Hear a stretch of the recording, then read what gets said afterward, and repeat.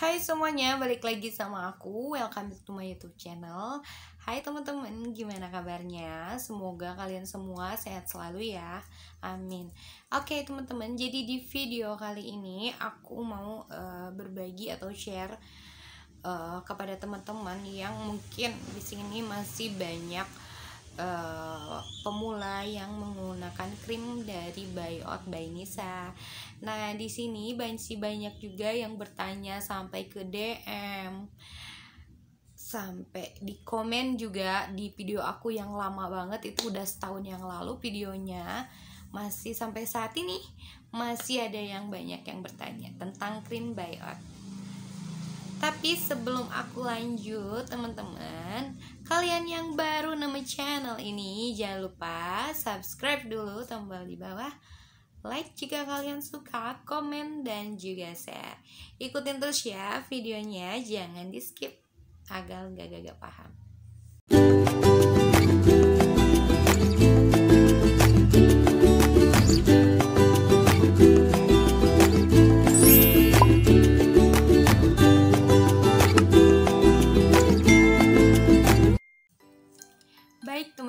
di sini aku bakalan ngasih selintas kasih tahu lagi sama teman-teman ganti intinya aku kasih tahu teman-teman yang mungkin baru ya baru bergabung di channel ini atau mungkin lagi cari-cari tentang skincare buyout di sini tuh gimana. Nah di sini aku bakalan kasih tahu nih apa saja yang jangan dilakukan ketika kalian uh, apa namanya pemula pemula banget memakai skincare apa pun itu selain buyout ya Nah, di sini kalau untuk skincare Biot sendiri, aku memang memakainya lumayan lama lah, 6 bulanan deh kalau nggak salah ya. Jadi pas aku review itu, aku udah sekitar tiga bulanan pakai gitu teman-teman. Jadi aku di sini share aja pengalaman ya. Nah, skir jadi aku yang pertama pakai plaque whitening dan di situ memang aku karena banyak plaque di situ dan memang aku wajahnya kusam juga. Jadi makanya aku pakai paket yang plaque di sini aku bakalan kasih tahu apa aja sih yang jangan dilakukan ketika pemula memakai skincare. Mau out mau skincare apa pun itu. Nah ini memang aku berbagi pengalaman aja ya sama teman-teman dan emang ini real aku alamin. Nah aku bakalan share di sini. Oke okay, teman-teman. Jadi uh, apa saja sih yang jangan kalau kalian sebagai pemula itu jangan dilakuin dan boleh dilakuin itu ketika pakai skincare biot. Nah, kebanyakan di sini pemula itu bilang, "Kak, kenapa aku tumbuh bulu-bulu halus?" Jujur aja aku baru dengar itu eh, udah pakai beberapa minggu katanya pakai skincare ini tapi tumbuh bulu-bulu halus gitu. Aku jujur aja baru banget nemu kasus seperti ini. Sebaiknya kalau misalnya kalian ada yang merasa aneh di wajah kalian sebaiknya aku saranin uh, dan aku konsulin uh, langsung aja ke buyoutnya. Res eh ke seller buyoutnya. Karena jujur aja aku juga kemarin itu hanya nge-review pengalaman aku ketika aku pakai jadi aku di sini nggak di endorse juga nggak. Memang itu real pengalaman aku dan uh, apa aku share gitu loh di video kemarin. Jadi untuk kalian nih yang pengen atau misalnya yang baru pakai skincare Biot kalau ada keluhan-keluhan sebaiknya kalian konsulkan langsung ke seller tempat kalian beli. Karena itu lebih baik menurut aku karena jujur aja aku pun tidak tahu apa-apa. Dan kalau mungkin mungkin kalau misalnya aku ada salah terus uh, menjelaskan aku juga takut. Jadi uh, aku menjawab pertanyaan-pertanyaan di komen yang aku tahu aja gitu ya. Dan untuk cara pakainya aku juga udah kasih videonya buat kalian bisa cari buyout. Di situ ada video aku cara pakai buyout versi aku. Dan aku sendiri memakai versi itu aku udah merasa berhasil. Ya jadi mungkin beda aturan dengan buyoutnya gitu kan. Kadang aku pakai versi aku sendiri. Nah di sini aku kasih tahu apa saja yang jangan dilakukan untuk pemula yang baru pakai skincare. Buyout jadi, untuk pemula banget nih yang baru memakai skincare buyout, sebaiknya kalian kalau misalnya memakai krim ya, kadang-kadang kalau pemula itu pengen se eh, apa namanya pengen cepat ada hasilnya ya teman-teman. Jadi pengen ah aku pengen cepet-cepet hasilnya kelihatan glowing kelihatan glow up gitu ya. Putih bersih gitu kan.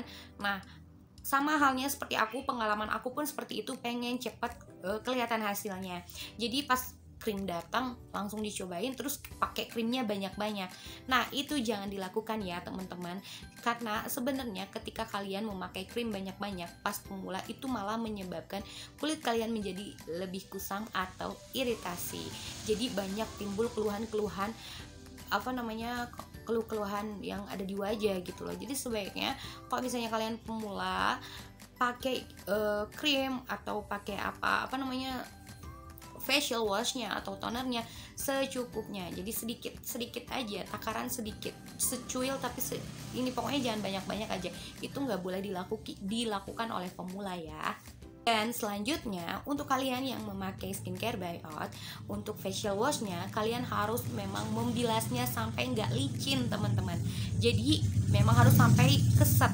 Nah kalau misalnya sabun uh, apa sabun wajah atau facial wash itu kan biasanya kalau sebentar itu kadang ada yang langsung keset ada yang masih licin. Tapi kalau buyout ini yang aku rasain kemarin itu memang harus uh, benar-benar bersih ngebersih uh, ngebilasnya. Dan memang takarannya memang harus sedikit ya. Jadi sesuai dengan kebutuhan wajah kalian. Jadi untuk kalian pemula uh, jangan melakukan memakai facial wash dengan takaran yang banyak terus kalian uh, masih licin nih wajahnya. Ah, biarin aja nanti dilap juga pakai anduk. Jangan jadi memang harus kalian lakukan sampai bersih gitu loh supaya kotorannya itu memang terangkat ya. Jadi saran aku jangan lakukan memakai facial wash terlalu banyak dan memang harus kalian lakukan bila sampai bersih. Jangan ada licin-licinnya lakukan sampai keset gitu loh ya sampai uh, apa namanya si sabunnya hilang terus si wajah kita tuh jadi keset Nah, untuk selanjutnya, untuk pemakaian toner ya, teman-teman. Tadi sudah aku jelasin untuk uh, memakai apa namanya, memakai facial wash itu nggak boleh banyak dan memang harus dibilas sampai bersih, sampai kesat. Nah, untuk tonernya pemakaian 2 atau 3 semprot aja ke kapas, kalian bisa langsung semprot ke wajah, 2 atau 3 semprot atau bisa kalian semprot ke kapas. Tapi dengan catatan untuk pemakaian toner di sini kalian harus uh, apa namanya memang uh, lap-lapnya sedikit gitu loh, sedikit gitu loh. Jadi memang harus sedikit-sedikit. Jadi jangan sampai si tonernya itu kalian gosok di wajah kalian. Itu udah mau pakai banyak uh, tonernya di kapasnya eh malah digosok pula. Jadi digosok gitu kan sampai keras keras sampai enggak keras. Kadang kan ada memang uh, apa namanya pengen ah aku pengen cepet-cepet. Kotorannya tuh hilang gitu loh. Jadi bener-bener digosok gitu loh digosok ditekan gitu loh. Jadi jangan jangan lakukan ketika memakai toner ditekan dan digosok uh, agak kenceng. Jangan. Jadi kita harus eh, pelan-pelan ya tap tap gitu lah. Tap. Kalau memang mau di ulas gitu kita ulasnya se sepelan mungkin gitu loh ya. Sepelan mungkin ya pokoknya sedang gitu loh. Jangan sampai kita menggosoknya berlebihan. Karena itu menyebabkan tahu kalian itu menyebabkan kulit jadi iritasi kemerahan ya itulah kemerahan. Terus malah kita menjadi kusam wajahnya. Itu untuk pemakaian toner ya. Untuk kalian nih kalau misalnya kalian uh, ingin cepat hasilnya kalian gunain serumnya 2 atau 3 tetes dan memang kalian harus tunggu sampai menyerap. Jangan sampai uh, jangan lakukan uh, untuk kalian pemula uh, berlebihan memakai serum gitu loh. Intinya jangan berlebihan aja ya. Dan untuk memakaian serum biar kita jangan langsung pakai krim malam jangan. Jadi kita tunggu beberapa detik sampai si serumnya menyerap. Jadi kita kadang kan ah ini udah apa namanya udah pakai serum langsung pakai krim itu jangan dilakuin ya teman-teman jadi kita tunggu semenit atau dua menit sampai menyerap serumnya Nah, untuk serum sendiri aku saranin ya untuk pemula teman-teman. Jadi kalian pakainya ke tangan aja. Jadi jangan langsung ke wajah. Nah, rata-rata kalau orang yang uh, aku lihat itu aku pun sama dulu makainya langsung ke wajah. Jadi serum itu tek tek gitu loh. Jadi sebenarnya harusnya kita ke tangan yang lain dulu baru kita ratakan di sini. Kita gini gini gitu ya. Terus kita blend gitu loh pakai tangan aja gini ya. Terus pelan pelan lalu setelah uh, diusap rata kalian tepuk-tepuk teman-teman. Nah itu bikin apa namanya tepuk-tepuk supaya apa? Supaya si serumnya itu langsung berfungsi dengan baik dan hasilnya cepat terlihat.